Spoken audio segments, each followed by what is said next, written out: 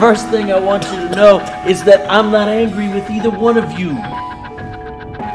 I'm proud of you, Marcus.